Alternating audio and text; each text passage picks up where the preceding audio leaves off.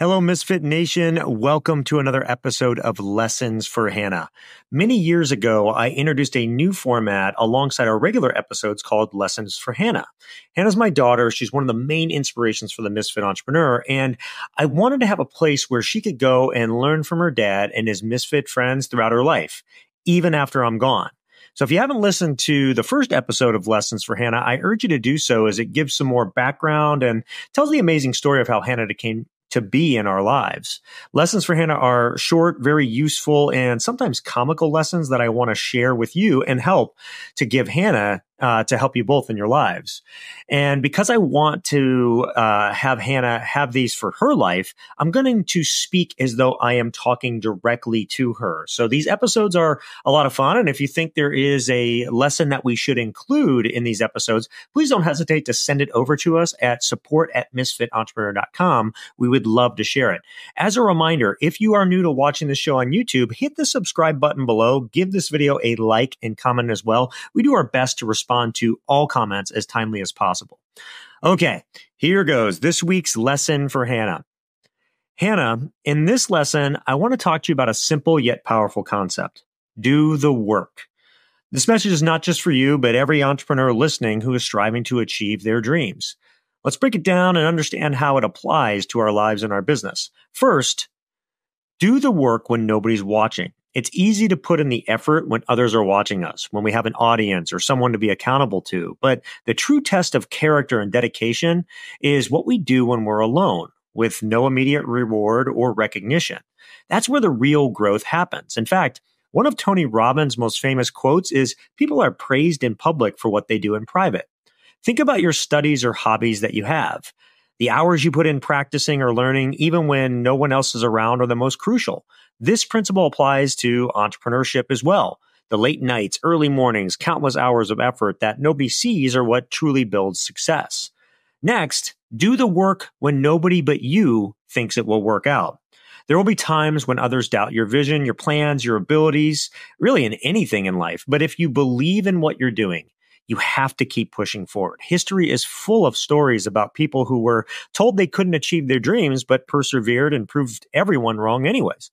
Remember, your business won't build itself, your physique won't carve itself, and your goals aren't achieved with magic. It takes consistent, dedicated, hard, and smart work. And when I say smart work, I mean you have to be working hard in the right way or on the right path to reach goals. I know people that work very, very hard but have little to show for it. And that's because they're working hard in the wrong areas or on the wrong things. Make sure the work that you're putting in is truly moving you toward the results you desire. Whether you want to excel in school, get fit, or grow a business, this principle remains the same.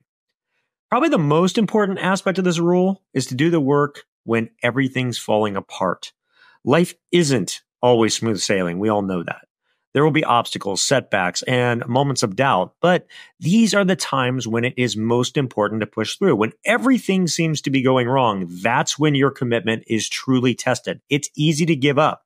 But if you stick with it, you'll come out stronger on the other side.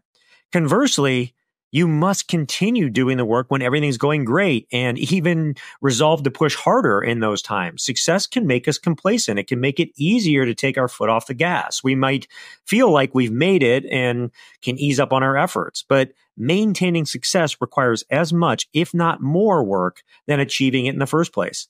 Always keep your eye on the long term goal. You also must do the work when you have every excuse not to. We all have reasons to avoid hard work, fatigue, distractions, other responsibilities in life, but excuses won't get us closer to our goals.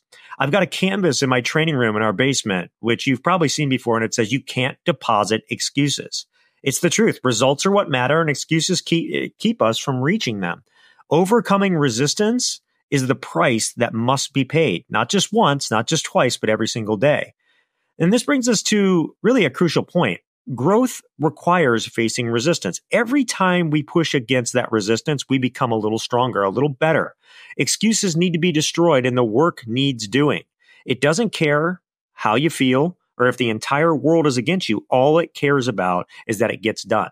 This is probably the number one reason why I continue to race Ironman after all these years. I've made it to the world championships multiple times. I've finished consistently in the top two or 3% in the world, but I still feel that I've never had a perfect race. This keeps me pushing because even though I'm getting older, my times are much faster than they were when I started and they continue to get better. Additionally, the race will test you on all levels, physically, but especially mentally. Because even though I know I can finish, my mind still tries to get me to slow down or push less. And every time I push through these thoughts and push myself past these mental limits, I grow in all areas of my life. It reminds me of The Man in the Arena by Teddy Roosevelt. And here's what it says. It's not the critic who counts, not the man who points out how the strong man stumbles or where the doer of deeds could have done them better.